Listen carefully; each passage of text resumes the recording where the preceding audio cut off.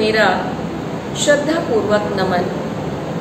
मैं अमिता त्यागी डीएमए मोदीपुरम मेरठ में हिंदी अध्यापिका के रूप में कार्यरत हूँ। यह मेरे लिए अत्यंत गर्व का विषय है कि मैं इस प्रतिष्ठित विद्यालय में सन उन्नीस सौ चौरासी से कार्यरत हूँ। अपने अध्यापन कार्य की इस अविरल यात्रा में मेरे द्वारा अनेक कार्य संपादित किए गए हैं, जिसमें 20 वर्षों से अधिक सीबीएसई की परीक्षाओं में मैंने एचई के रूप में सफलतापूर्वक अपने दायित्व का निर्वहन किया है। मैंने सब्जेक्ट एक्सपर्ट के रूप में भी कार्य किया है। इसके अतिरिक्त छह सॉल्यूशंस जिनमें सैंपल पेपर्स भी सम्मिलित हैं, का लेखन कार्य किया है। मैं विद्यालय की वरिष्ठ अध्यापिका होने के साथ साथ हिंदी विभागाध्यक्षा के रूप में भी कार्यरत हूँ, एवं मिडिल विंग की कोऑर्डिनेटर का दायित्व भी बखूबी निर्वहन कर रही हूँ। शिक्षा के क्षेत्र में दयावती मोदी अकादमी मेरठ की एक विशिष्ट पहचान है। लगभग सात एकड़ भूमि पर निर्मित विद्यालय का विशाल भवन अति सुंदर एवं हरियाली से परिपूर्ण है। सुरक्षा एवं शिक्षण की दृष्टि से विद्यालय की इमारत 100 फ़ीसदी खरी उतरती है। विद्यालय में विज्ञान तथा अन्य सभी विषयों की अलग अलग प्रयोगशालाएँ हैं। सभी प्रयोगशालाएँ आधुनिक शिक्षण पद्धति पर आधारित है और संपूर्ण कक्षाएँ वातानुकूलित है। विद्यालय परिसर में विद्यार्थियों की सुविधा के लिए विश्व स्तर की लाइब्रेरी है, जहाँ विद्यार्थी बैठकर अपनी समस्याओं का समाधान करते हैं और अपना ज्ञानार्जन करते हैं। विद्यालय अपनी अनुभवी, योग्य एवं प्रेरणादायी प्रधानाचार्य डॉक्टर श्रीमती ऋतु देवान जी के कुशल मार्गदर्शन एवं निर्देशन में निरंतर नवीन कीर्तिमान स्थापित कर रहा है। यह संस्था छात्रों में गुणवत्तापूर्ण शिक्षा प्रदान करने, उत्कृष्ट, उत्कृष्टता की भावना जागृत करने, उनके जीवन में आने वाली सभी चुनौतियों का दृढ़ता से सामना करने योग्य बनाने में पूर्णतया सक्षम है। यह आधुनिक तकनीकी शिक्षा पर आधारित शिक्षा के साथ साथ भारतीय परंपराओं और जीवन मूल्यों की सीख देते हुए सांस्कृतिक विरासत के प्रति समृद्ध करता है, ताकि छात्र छात्राएँ अपनी जड़ों से जुड़कर उनके आशीर्वाद एवं अनुभवों से लाभान्वित हो सके।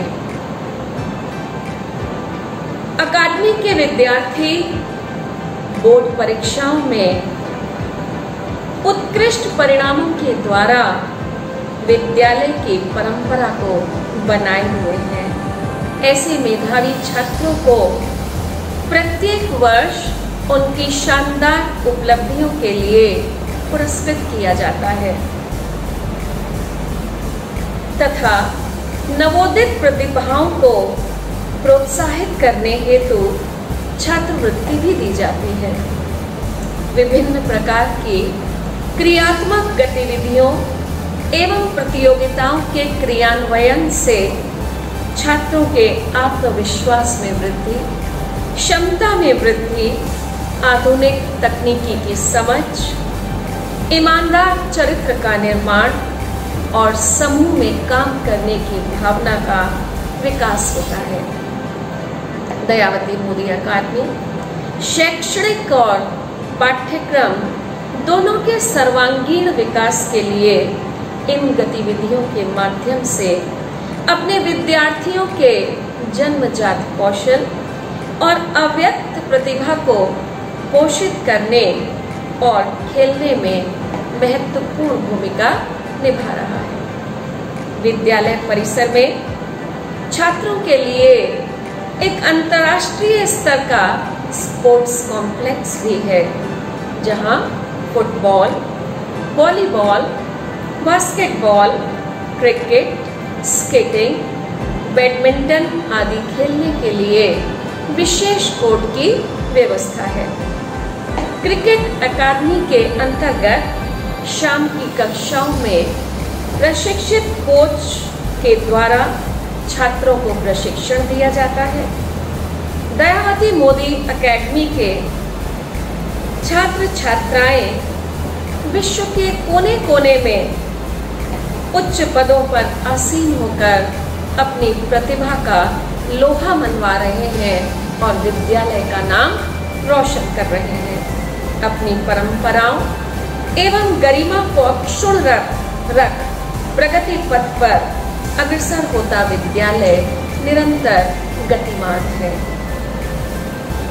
विद्यालय एवं अंतर विद्यालय अनेक प्रतियोगिताओं में विद्यालय के छात्र अपना परचम लहराते हैं। विश्व में सबसे कम आयु का शानदार निशानेबाज शार्दुल विहान एवं अंडर 19 क्रिकेट टीम का कैप्टन प्रियम गर्ग विद्यालय के लिए प्रेरणा स्रोत बने हैं।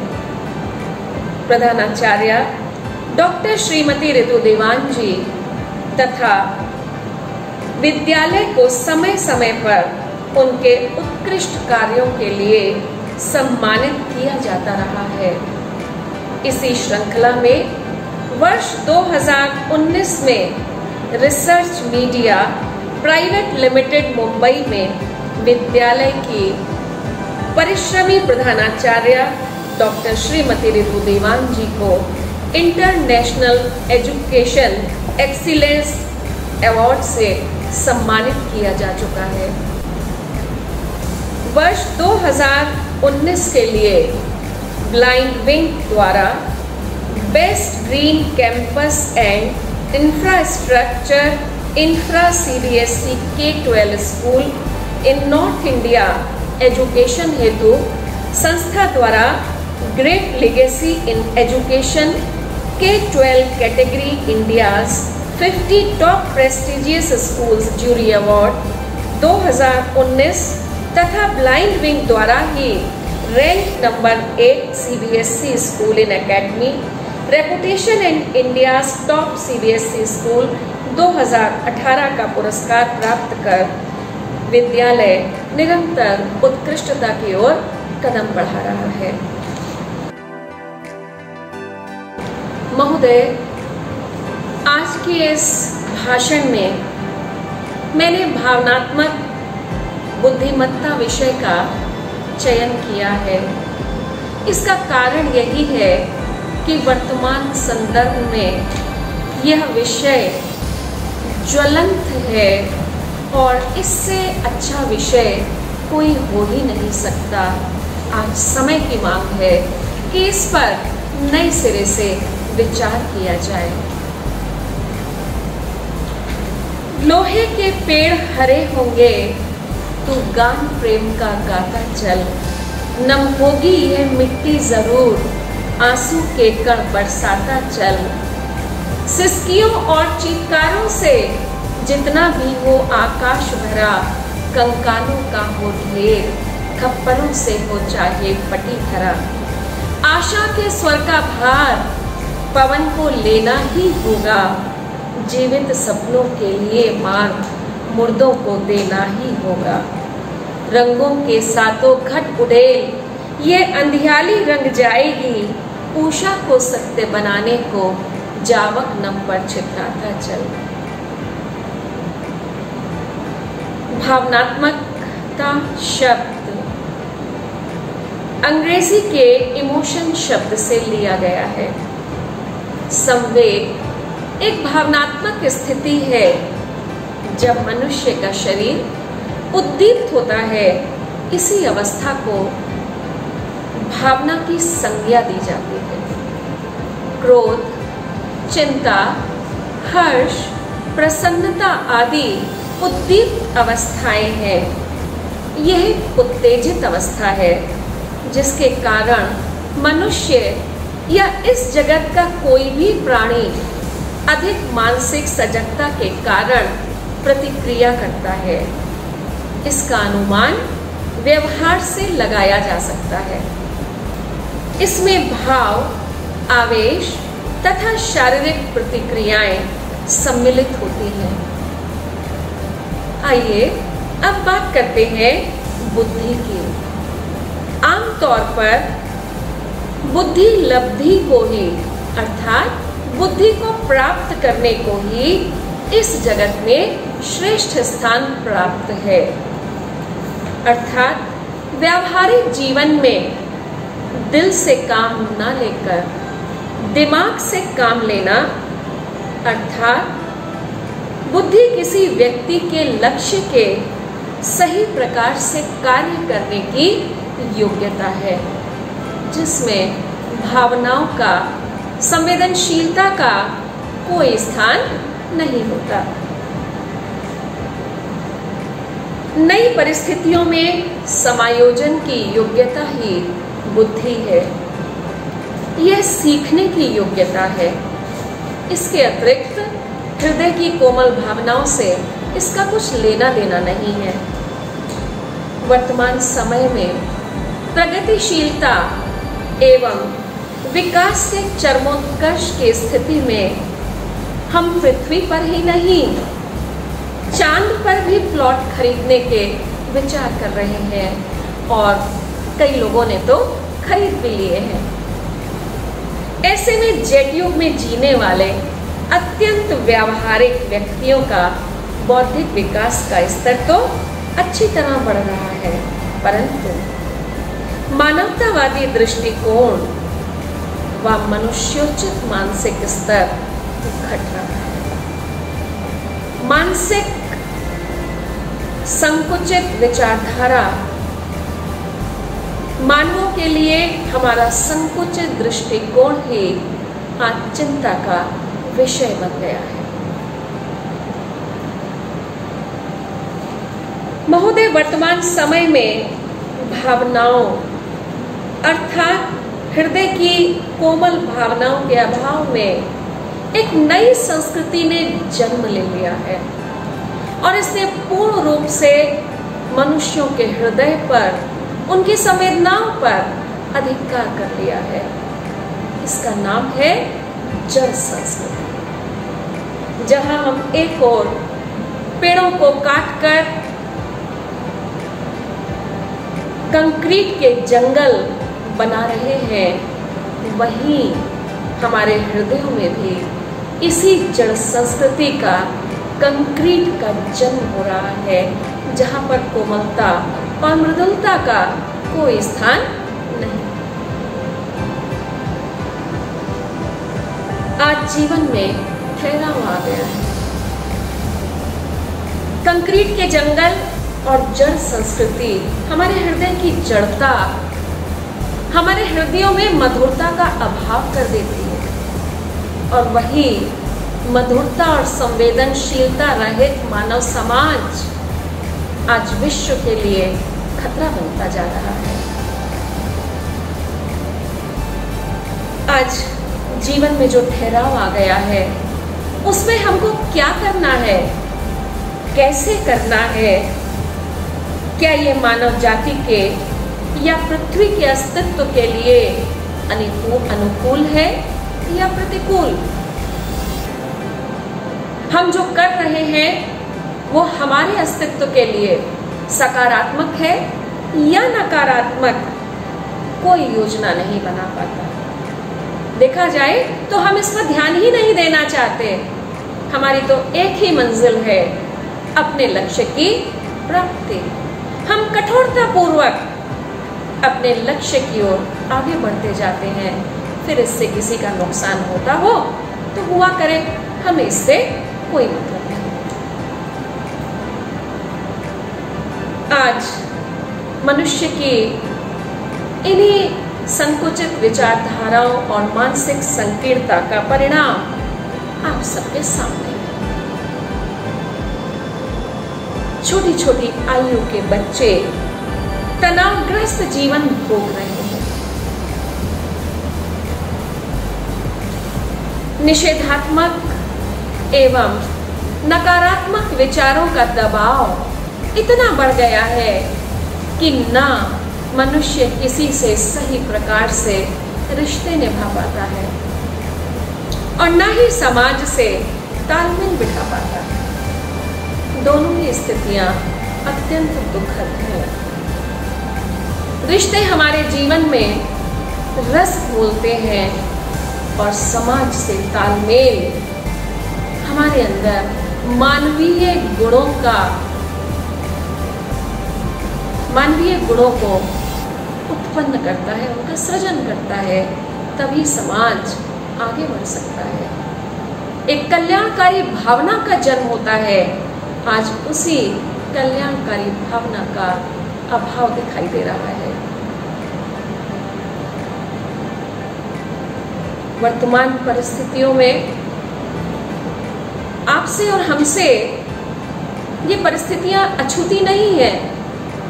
आज हम सब एक दूसरे के सुख दुख में भाग नहीं ले सकते। परिवार के लोग अपने सगे संबंधियों का अंतिम संस्कार नहीं कर सकते। संस्कार करने की बात तो दूर, उन्हें अपनों का मुख देखना भी नसीब नहीं होता।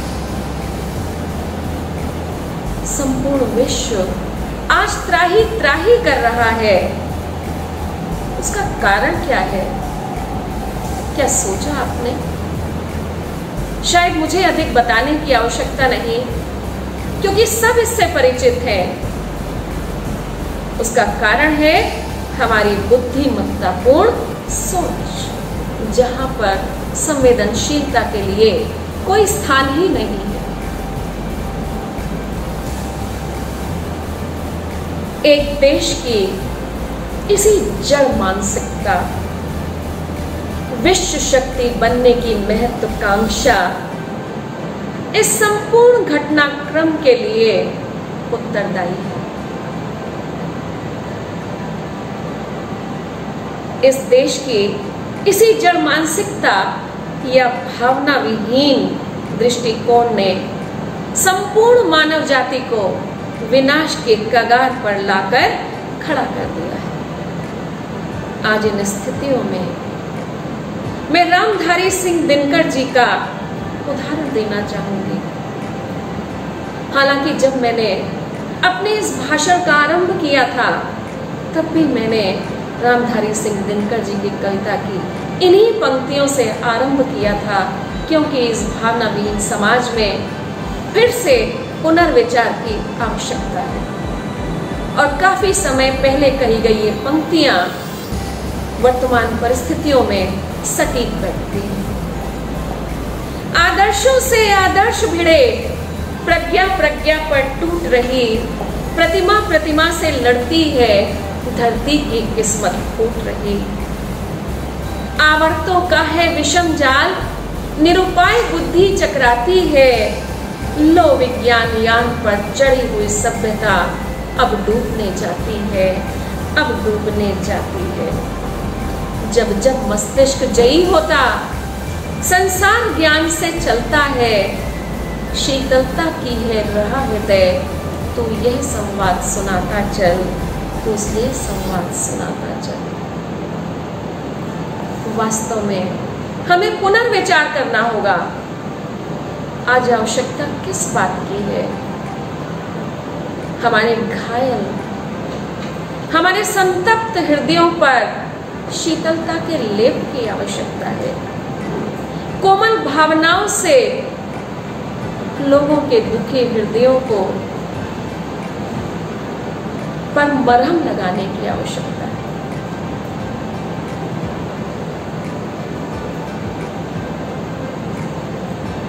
ऐसे वातावरण में मनुष्य के तप्त एवं संतप्त हृदय को संतुष्टि प्रदान करने का एकमात्र उपाय है। हालाँकि ये बहुत पहले से कवि ने भी कल्पना की। अनेक दार्शनिक भी इसके विषय में कह गए हैं। परंतु पुनः, क्योंकि मनुष्य की एक मनोवृत्ति है, आदत है कि वो बार बार भूल जाता है। उसे बार बार याद दिलाने की आवश्यकता होती है और आज जो महती आवश्यकता है, वो है भावनात्मक बुद्धिमत्ता। महोदय, मैं भावनात्मक बुद्धिमत्ता शब्द को स्पष्ट करना चाहूँगी। ये जो भावनात्मक बुद्धिमत्ता शब्द है इसको बहुत पहले महान दार्शनिक अरस्तु ने प्रयोग किया था। लेकिन बाद में अमेरिकी मनोवैज्ञानिक डेनियल गोलमैन ने के द्वारा अपनी पुस्तक emotional intelligence why it can matter more than IQ में विस्तृत रूप से किया गया है। असल में एक शब्द जिसे हम आईक्यू कहते हैं, हम उसका प्रयोग तो करते हैं, पर उसे पूरी तरह बुद्धि से जोड़ देते हैं, जबकि आईक्यू में सभी चीज़ें कुल मिलाकर होनी चाहिए। आईक्यू ठीक है, हम बच्चों की जाँच करें, उसका बौद्धिक स्तर कितना है, परंतु संवेदनशीलता, दया, करुणा, दूसरे के दुख में हिस्सा लेना ये सब बातें भी, जो कि हमारी संस्कृति का अंग है, आज उनको बच्चों को फिर से बताने की बच्चे तो छोड़िए, मैं तो कहूँगी सभी को आज इनको अपनाने की बहुत अधिक आवश्यकता है। ये भाव, दया, करुणा, मानवीयता, सहिष्णुता आज हमारे लिए ज़रूरत बन गई है। ज़रूरत ही नहीं, हमारे लिए अनिवार्य है। हमें इन्हें अपनाना चाहिए।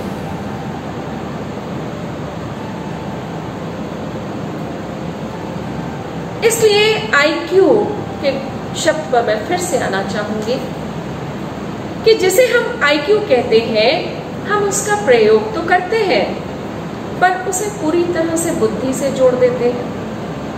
जो कि मस्तिष्क का एक भाग है। दूसरे भाग में ये भावनात्मक बुद्धि बनता है। जब ये दोनों भाग मिलकर काम करते हैं,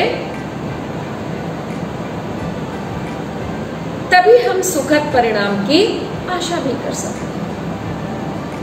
एक पक्ष काम करेगा और दूसरा पक्ष काम नहीं करेगा तो भी सफलता नहीं मिल सकती।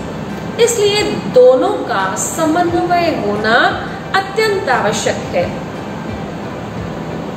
एक विद्यार्थी यदि शत प्रतिशत अंक ले आए तो हम उसका आईक्यू का स्तर जानते हैं। लेकिन उसकी भावनात्मक बुद्धिमत्ता की परख नहीं कर सकते। जीवन में अच्छे अंक लाना ही सब कुछ नहीं होता। क्योंकि विद्यार्थी जीवन के बाद जब व्यावसायिक पारिवारिक और सामाजिक जिम्मेदारियों से उसका सरोकार होगा, तब हमें आशा के अनुरूप परिणाम नहीं मिलेंगे। क्योंकि भावनात्मक बुद्धिमत्ता में वो कितना आगे है, ये सामंजस्य भी उसे बिठाना होगा। जो कि शिक्षा ग्रहण करते समय उसने नहीं किया, या यूँ कहे, उसे सिखाया नहीं गया। उसके जीवन का तो एकमात्र उद्देश्य बना दिया गया कि बड़ा होकर उसको पैसा कमाना है। उसके बुद्धि ही उसके काम आनी है। और यही कारण है कि उसमें भावनात्मकता का बीजारोपण नहीं होता। और उसके अभाव में वो निरंतर कठोर बनता जाता है, अपने लक्ष्य के प्रति दृढ़ बनता जाता है, उसके जीवन का एकमात्र उद्देश्य रह जाता है केवल धनार्जन।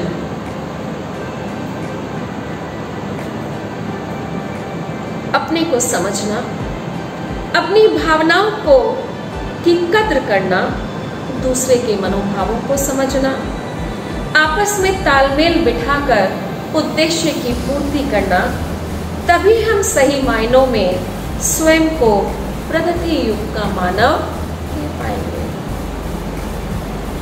मनुष्य के जीवन से जुड़ी समस्याओं और चुनौतियों से जूझने के लिए जब हम सकारात्मक सोच रखेंगे, तभी उनका समाधान ढूंढ पाएगा।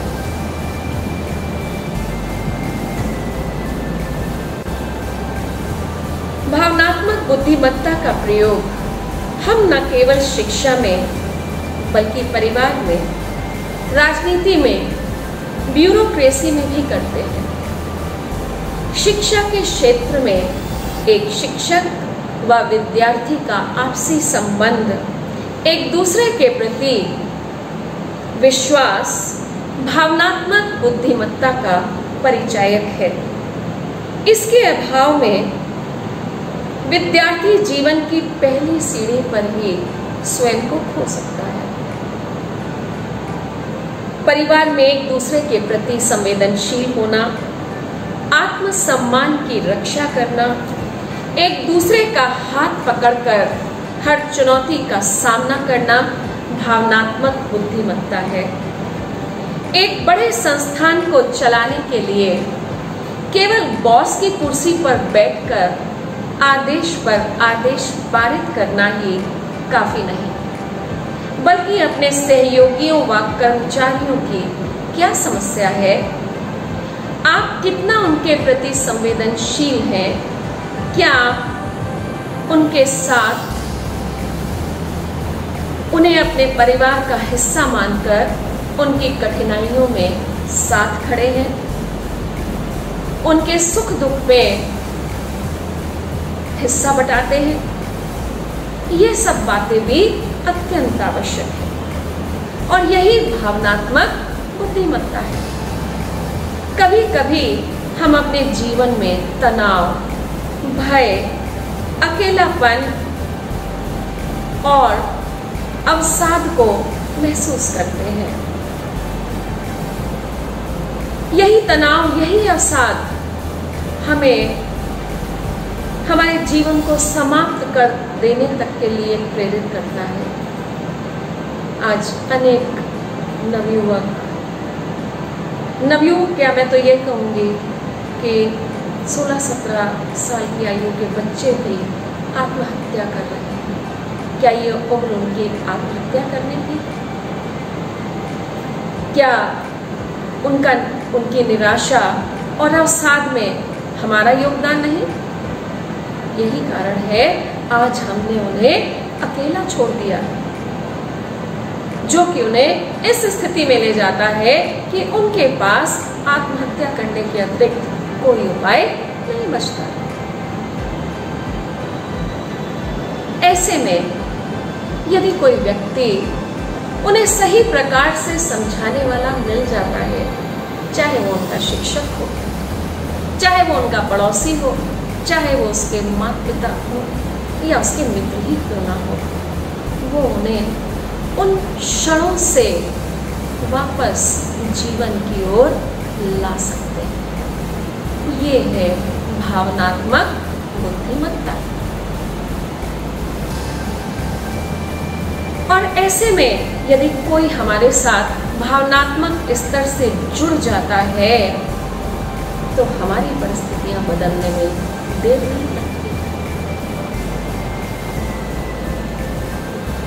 वाल्मीकि डाकू को। वाल्मीकि बनाने में किसका योगदान था? एक ऐसी मानसिकता का व्यक्ति जो प्रतिदिन लोगों से लूटपाट करता था। एक ऐसा व्यक्ति जो उंगलियों की माला पहनकर जंगल में घूमता था, नरसंहार भी करता था। उनका संपूर्ण जीवन बदल गया। वाल्मीकि ने रामायण लिखे तो अंगुली माल संत बन गया। उसका कारण क्या है? उन्हें सही समय पर सही निर्देश, सही मार्गदर्शन देने वाले सप्त ऋषि और महात्मा बुद्ध मिल गए, जिससे उनका संपूर्ण जीवन ही परिवर्तित हो गया। ये है भावनात्मक बुद्धिमत्ता। इस संदर्भ में मैं प्रधानमंत्री नरेंद्र मोदी जी के अपने मन की बात कार्यक्रम में एक कही गई छोटी सी घटना की ओर संग आपका ध्यान दिलाना चाहूँगी। उन्होंने घटना का ज़िक्र किया था कि एक चार पाँच महीने का बच्चा झूले में लेटा था और उसकी माँ ने झूले के ऊपर घुंघरू बांधे थे, जिसे वह थोड़ी थोड़ी देर पर हाथ से बजाकर चली जाती थी। थोड़े समय के बाद बच्चा अपने पैरों को उचकाकर उसे हिलाने की कोशिश करने लगा। यह है बुद्धि का विकास। अब माँ को ज़्यादा देर काम करना पड़ता था। एक टेप रिकॉर्डर बच्चे के पास रख देती, उसमें सुरीला गाना बजाती। जिससे बच्चा चुप हो जाए। मगर ऐसा नहीं हुआ। हार कर माँ ने टेप बंद किया और अपनी फटी और बेसुरी आवाज़ में उसे लोरी सुनाई और बच्चा सो गया। ये है भावनात्मक बुद्धिमत्ता।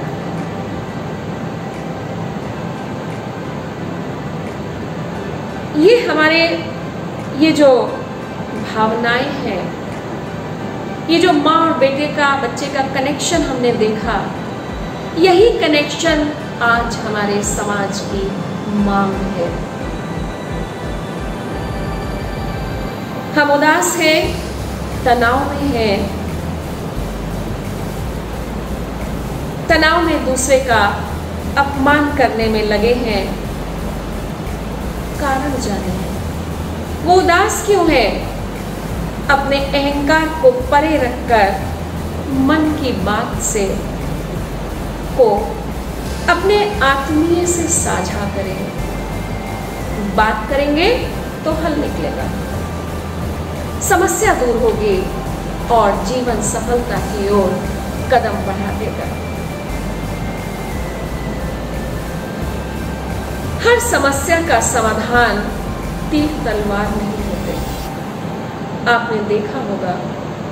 जब भी कोई राष्ट्र दूसरे राष्ट्र के साथ युद्ध की तैयारी कर लेता है, तब बीच में बातचीत के लिए समय निकाला जाता है। मीटिंग्स बुलाई जाती हैं, तारीखें तय की जाती हैं। क्यों? तब दो राष्ट्र भावनात्मक बुद्धिमत्ता का प्रयोग करते हुए अपने अहम को समाप्त कर शांतिपूर्वक समस्या के समाधान के विषय में वार्ता करते हैं और समाधान निकलता भी है। क्योंकि मेरा संबंध शिक्षा और शिक्षार्थी से है तो हमें मनोभावों को करीब से जानना होगा। मैं तो कहती हूँ कि ये शिक्षकों का कर्तव्य भी है। बच्चों में अच्छे बुरों की समझ को विकसित करने का दायित्व हम अध्यापकों का ही है।